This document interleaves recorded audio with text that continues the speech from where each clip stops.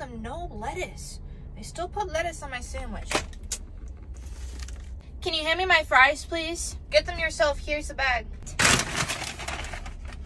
Dang it! I don't like today! Are you kidding me? You put your trash in the bag when my food's still in the bag? I thought it was already the trash bag. It's not that big of a deal anyways. That is so gross. Ew, the lettuce is all up in my fries. When we got the bag of food, you should have grabbed your food, but you left it in there. It's not my fault you left it in there. Why would you throw your trash in the bag when my food's still in the bag? Well, I didn't want the lettuce, and normally you toss the trash in the bag, so I tossed the lettuce in the bag. That is so rude. You're being a baby about it. Just eat the fries. You just ruined my food, and I don't even want it anymore. Okay, fine, then I'll eat the fries.